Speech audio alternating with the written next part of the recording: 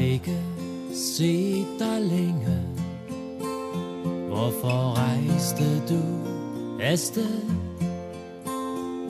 Jeg har ikke hørt din stemme i en evighed. Jeg håber, at du finder lykke på din. Skønt du egentlig skulle sidde her ved siden af mig.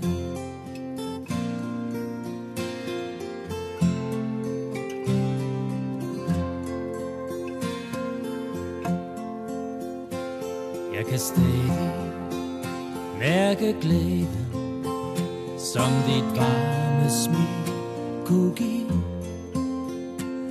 Når jeg sidder her og kigger på dit fotografi.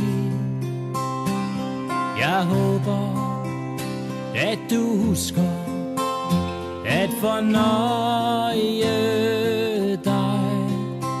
Skønt du egentlig skulle se det her ved siden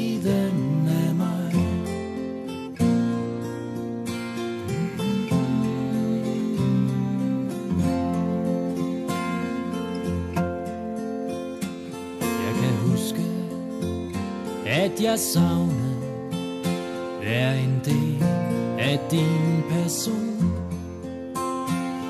Endnu før de fløjtede afgang fra den grå station.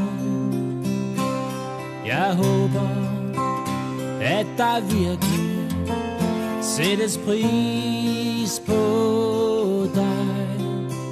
Skønt du egentlig ved siden af mig.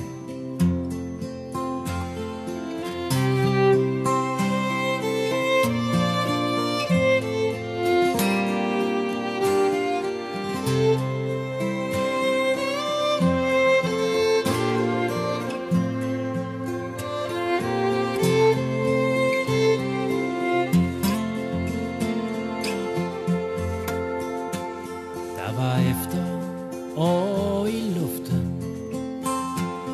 du rejste bort, min ven.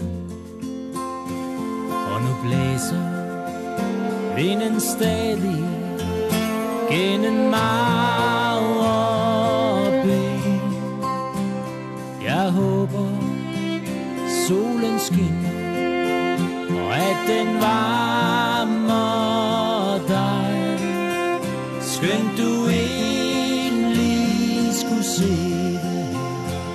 of Amen.